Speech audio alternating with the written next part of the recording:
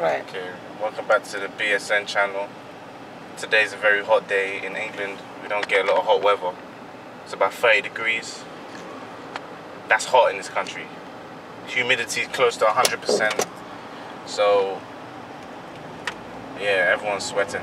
But what, what I want to talk about is I'm with my mum in the car, so, you know, say, say hello, mum. Hi. Hi, people. Okay. Anyways, uh, what I wanted to talk about is some some tribal discussions. Um, I don't want to start any issues. I just want to state some facts. Um, there's one issue I have with was it like that towards the window. There's some issue I have with uh, say the fancy the Fanti language, which which doesn't exist in my opinion. That's very annoying what that car did. Yeah. What Very type good. of car he's holding? He's driving Porsche. You know, that is the reason why. mom, you're just lucky this is not my past days because if I had a hammer, Please. I, I'd get out of this car and just This Porsche. What do you understand? You know, I'll, t- I'll turn that Porsche into a Ford. he's showing off until you go bang in front of his face. He goes through pillars. Uh, but you understand, on a hot day, yeah, people don't want to play about. I'm not. When I'm sweating, yeah, I'm not in a good mood. So actually, no, I do like this weather. I'm not gonna lie, I do like it. You've got the air conditioner on. Yeah, that's for you. It's not for me. Because I close the windows. But yeah, my, my main issue with the Fanti language is that it's not a language. And when I hear people say, oh yeah, I speak Fanti and I also speak Twi, baffles me.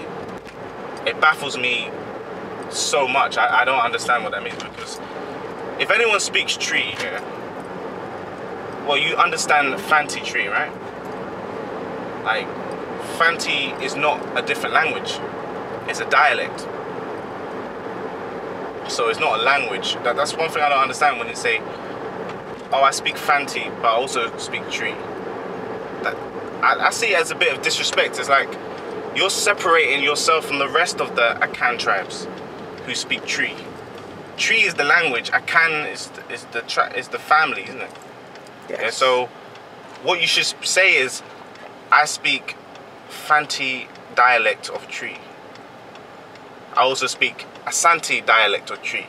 Akuapem, Akyem, uh, Asin, whatever, Ahanta, Akwamu, whatever.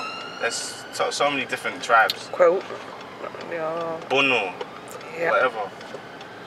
Oh, you're bringing a Bono topic. Yeah, but we all came from Bono. Like, if you're a can, yeah, we all came from Bono. So when, when we make fun of Bono people saying bear, bear, bear, bear, bear, bear, bear, bear, we all came from Bono mine. How? That was our family. That was one family once upon a time. You're talking about Shanties or this time?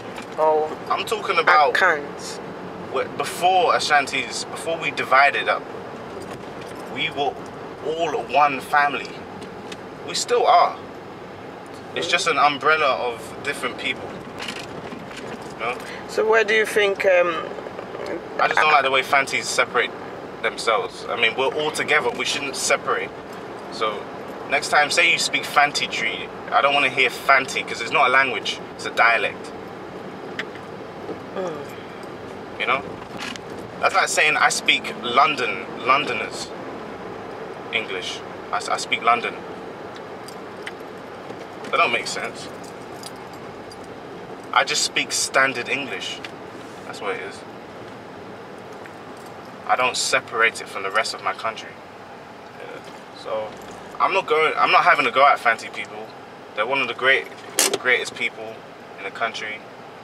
I love the sound of their dialect. You know, it's it's like sounds so slippery of the tongue. It's it's it's beautiful to hear, especially when you're in Cape Coast or Agona Swedru or some places like that. You can hear the proper proper Fanti dialect, but it's not a language. I just think it's disrespect when you say, "Oh yeah, I also speak Twi as well as Fanti." What do you mean Twi? What Twi? So all of a sudden, Twi is everything else but Fanti. What about Ahanta? Akuapem? What about Akyem? You know there's three different states in Akyem alone. So how are you gonna just separate yourself from that? You're not in Nzema. Nzema is actually a different language to the point where we don't understand Nzema. I don't even think Fanti people understand Nzema. So, but they can do that. They can separate themselves. Also, the Baule tribe in uh, Co- Cote d'Ivoire, they're Akan people. The Anyi tribe, also from Cote d'Ivoire, they, they speak a different language. It's more influenced by French. But I'm sorry, Fanti is not a different language. I understand Fanti. It sounds different, but I understand it. Okay? Ga is a different language. Ewe, that's a different language. Dagbani is a, is a different language. There's ma- many different languages. Can we go to the north but what- bit? Of what? Can you tell us a bit difference about the north? Why people, you know, Oh yeah, it's one issue. Like, disrespecting One thing I don't, one issue I don't like is, um, well, it's not a bet. It's, it's- not like we make fun of them, but I don't like the term Northerners. You know, like, you know when people say, "Oh, where's he from?" Like, well, what tribe is he from? Oh, he's a Northerner. But if he was from the South and you say, "Hey, what tribe is?" Oh, he's Fanti. Oh, he's Ga. Oh, he's Dangbe or Dangme. uh, Ashanti? Yeah, so um, so I thought it was Akyem, whatever. But when it comes to North, oh, he's a Northerner. How would you like it if you, if they referred to Southerners like that? Oh, you, you're a Southerner. No, no, I'm I'm Ashanti. No, you're a Southerner. So what do you want them to say? How about we we, we, we start noticing other tribes? Do some research. I- Not even I know all the tribes. There's like more than 60 tribes in Ghana alone. More than 60 languages Do- Ghana alone. So north. So how do you want them to? Just research one tribe in the north. Have some respect. Yeah, there's. I don't know so many tribes. I know the Frafra, uh, Sisala, Dagomba? Konkomba, Nanumba, Gonja, Dagomba. That's as much as I know. But that's through my own research. Because as Ghana as a whole, we gotta respect each tribe. So I, I don't like the term Northerner if you can't accept the term Southerner. As long as you don't mind being called Southerner, I don't have a problem with Northerner. But don't separate North like that. I don't like. I think it's quite rude. So what connection do you know about the uh, the Ashantis and the North people? Well, we've been using the North. I don't like saying North. Again, I don't even like saying Northerners. But I don't know what particular tribe. It, it might have been Dagomba. I don't know. But a lot of people from the north of Ghana were used as uh, workers. I mean, In uh, South. you could say slaves back in the day, but it wasn't really like that because some of them married into the Ash- Ashanti tribe. Majority so- of them. But they were used as workers even to this day in Kumasi. A lot of the ha- the what do you call them? The ground workers, the people who The housemaids. Look yeah, people who look after your house for you. Watchmen come from that. the north. You know, and they're very humble people, hard workers. Um, so we've been alongside them for, for years. I mean, people forget that a Akan tribe came from north. There was people living in Ghana before the Akan tribe came. So when you say Akan tribe came from the north, meaning um, they, they, all of them came from north. We all came from north. It's just uh, Akan was a very prominent. I don't know if they called themselves the Akan tribe at the time, but they were very prominent in war. So they could travel places and take it over. They're hmm. very good at it. So they were looking for a place with vegetation. Hmm, like a forest and Yeah. things. And when they found Forest region, which is in the south of Ghana, They must have thought, yeah, well, this is where we're gonna stay now. But there was people staying there before. Hmm. So how about the uh, BA people, the Brong and then the Ashantis? What's the much difference between them? Because uh, a lot of Ashantis can be a bit uh, discriminative, being uh, thinking, oh, you're from BA, you know, a Brong Ahafo, you're and I'm Ashanti and all this, blah blah blah. Can you explain that? That doesn't make sense to me because Ashantis are very close to Bono. Like in culturally and geographically, yeah, but very close. So I don't, I don't understand it because Bono is are they not one, one person, one people, or something? Are they all not from Ebono? yeah, well, that's what I mean. We all come from there, so I don't understand the disrespect. You don't disrespect people from Brong Ahafo region because before uh, we went further south, we was in areas like Techiman and That's it. Rakum. Doma, you know, all those Yeah, we was all in all those places. So we need to show respect to those tribes. And even the language they speak is is closer to the language we used to speak. You know, a lot of the dialects, you know, excluding the Bono people, was um, influenced by a certain tribe that was already there before the Akan came. Like, really? Really? Is he gonna cross the road like that? Yes. Like, he just doesn't care about his life. No, you should care for him. Yeah, our language was influenced by the tribes already there.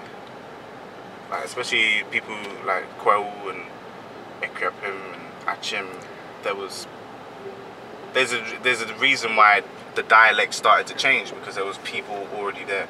I really want to hit this bit more because I want more But. Bono is has re- they've like preserved the language. Mm. It's the closest to what we used to speak. The the Twi that everyone speaks is very watered down. Now, It- well, I don't want to say watered down, but it's changed. Especially in the Kra region, is very watered down. In Kumasi, I can't say the same thing. Or Cape Coast, they speak their dialect very strong, but we never used to sound like that. So when we when we laugh about bear, bear, bear, bear, bear, originally we all used to speak bear, bear, bear, bear, bear. right. You're talking about your ancestors, you know? Because the, the, the Akan belief is that we all come from one mother. Mm. Yeah? Your mother gives you the blood and flesh, your father gives you the character. Right? That's Yeah. the belief. That's, that's probably the only reason why I do Ghanaian videos because, you know, the tradition is passed down the mother side. You know, inheritance is on the mother side. Everything's on the mother side. That's how I'm very close to the culture. Through my mother's side. If my father was Ghanaian, I doubt I'll be doing vi- talking about this. But what's the point you want me to get across? Um, um, uh, I just want to know a bit more about Ashanti history because a lot of Ashantis think they are the superior in Ghana. Um, you know, Once upon a time, the Ashantis were, well, they were underneath a certain tribe, right? which was the, uh, I can't pronounce, Denkyira. Dentra, yeah. Yeah, that was hard to pronounce, but the Dentra, they were a very prominent tribe. They were, they were the Ashantis before the Ashantis, if you know what I mean. All right. And um, so in uh, Osei Tutu Yeah. moved his people. They grew. They planned their way to defeat them. They did defeat them. It was a massive battle. I don't remember the name of the battle. My, my, my history is not that good. Right. but it was a big war. It changed the face of that, you know, Akan, the land of the Akan people. Mhm. And um, from then on, it was the Ashantis who ruled all the Akan states. There was many, many Akan states, and Ashantis used them to uh, turn against the Denkyira. To to win the war. Yeah, you know, one good thing about the Ashantis I noticed is they were very civilized in the sense that they they knew how to play mind games. It's like they knew how to play chess without the board. Like they they were clever. Everything was tactical. Nothing was just done. Everything had different things. Like even the way Kumasi was um, built. You know, Kumasi is like, well, it's a city full of villages, but it was planned like that. You have the main part, part and then you have all the villages around it. Like where we're from, Donyana, near Ejisu. That's planned. They built many satellites, so when an enemy comes, say the Akyem used to be the enemy of the Ashanti, when they'll come, each village will sound the, uh, the talking drum from village to village. And, and then it will come back to the Asante Hene. Right. So he, he can plan what he has to do before they get to the sea. So it was very strategic. I, I mean, it's too much. I can't talk about the whole Asante history because there's too much. But the bit that I want to know is the pomposity of um, the uh, Ashanti people. They think they are the best. And so, All right, so uh, welcome back to the BSN channel. Cooking once again. Right now we're grinding what's uh, something called dawa dawa.